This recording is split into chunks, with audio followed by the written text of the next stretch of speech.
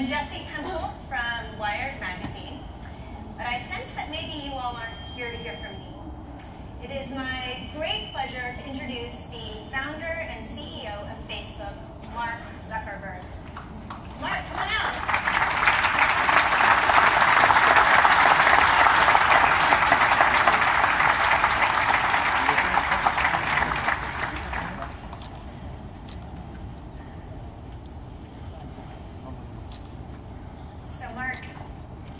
It's been a year since we've sat on the stage together, and so much has happened for you.